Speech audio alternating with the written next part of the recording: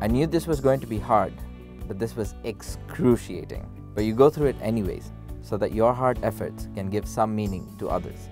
When I first saw the email, I thought, why not? This was new, this was exciting. We nurtured lots of ideas in our mind, but there was no platform for us to explore the potentiality. Right now, BRACX created the opportunity and we responded. BRACX was our little experiment where we wanted to capitalize on the entrepreneurial talent spread across the organization.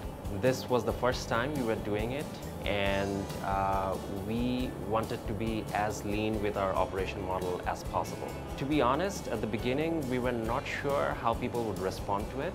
We were positively surprised to see more than 100 people applying uh, when they had only five weeks to frame their problem and come up with the idea. After that, we picked the top 10 teams to move through a three-day boot camp and which was followed by an ideas marketplace. Now we have five teams, five finalists who are looking to solve some big problems that we're eagerly looking forward to see solutions to. Hi, we are Red Roof we are introducing low-cost shuttle services for the patients attending the tertiary hospitals. Hi! We are Team Oikota. We are designing a series of services to report violence against women anonymously. We are Team Quack Quack. We are connecting the duck farmers of the remote rural areas with urban markets. Hi, we are Daycare Squad.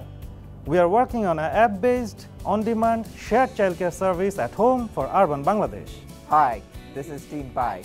Using biodegradable waste, we are cultivating maggots to produce natural livestock feed so that what we eat eats well too. BRAC is a problem-solving organization and who's better at solving these problems other than people who are close to it, which means our staff. We wanted to give our staff the space to share their ideas and see it materialized. And BRACX is the platform for them to do it.